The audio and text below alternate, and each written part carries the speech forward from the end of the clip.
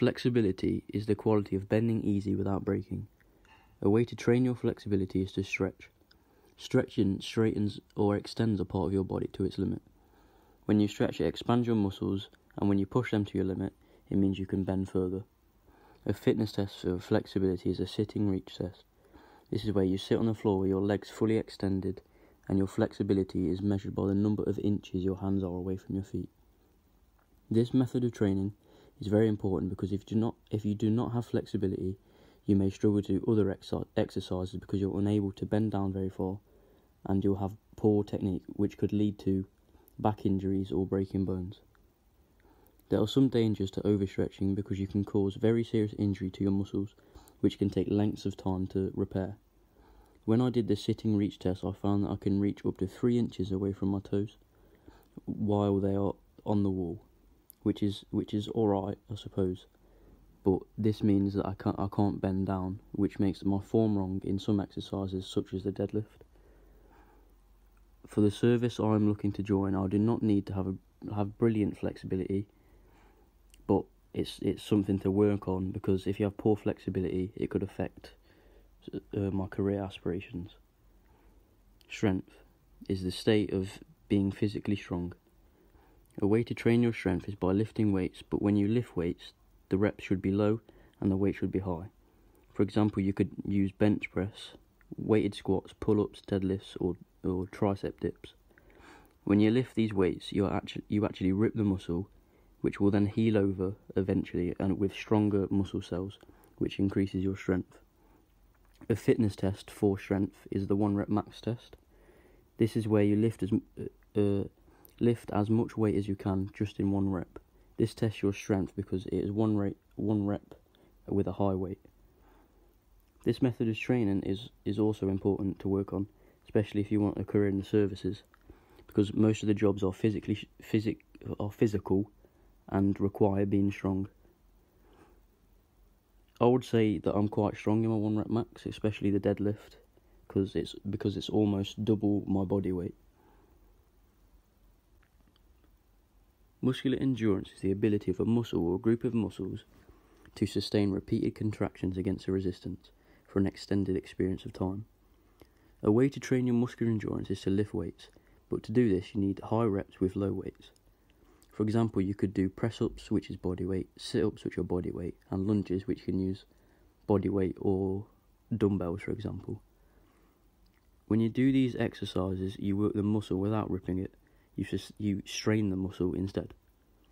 A fitness test for this would be the push-up test. This is where you do as many push-ups as you can in 2 minutes. This tests your endurance because there are many contractions.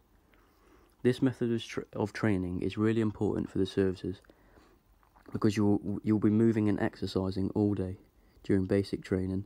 So having muscular endurance is key because otherwise you will struggle to keep up with other people um, and, and to keep up with what you're being asked to do. Power is the ability to exert a maximum force in a short time, such as accelerating, jumping, or throwing. A way to train this is by doing plyometric workouts. An example of this would be burpees, box jumps, or skipping. When you do plyometrics, it creates explosive movement which manipulates the elasticity and strength of muscles by increasing the speed and force of, in, in which they contract. A fitness test for power would be the vertical jump test. This is when you jump straight up as high as you can, and this test shows power because it in- involves explosive movements in your legs.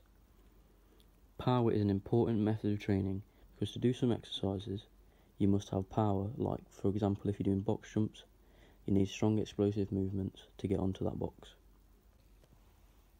Aerobic endurance is your ability of your cardiovascular and respiratory systems to sustain moderate intensity exercises over extended periods of time. A way to train aerobic endurance is interval training, circuit training, or swimming. When you do these exercises, it improves your aerobic endurance because it trains the heart and, and lungs to work efficiently and get enough nutrients and oxygen to your working muscles. A fitness test for aerobic endurance is, is the multi stage fitness test or the bleep test.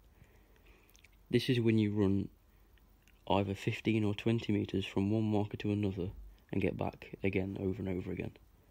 This trains aerobic endurance because it's, it's all about how long you can run for. Speed is the rate at which someone is able to operate. A way to train speed is sprints resist, and resistant workouts. When you do these exercises, it, put, it puts muscles through a fuller range of motion, improving flexibility, and trains more muscles, leading to better muscle balance and prevents injury. A fitness test uh, for speed is the sprint test. This is when you sprint 100 metres in as little time as possible. It tests your speed because you're using a full range of movement in your legs and arms to run as fast as possible. Speed is an important method of training because if you need to run fast in the services, let's say you're on an operation in the Navy and there's a hole in the ship's hull, and you need to fix it and need to be there as fast as possible to prevent the sinking of the ship. My speed is okay at the moment, but I haven't tested it in a while, so I don't know how fast I'll be able to run.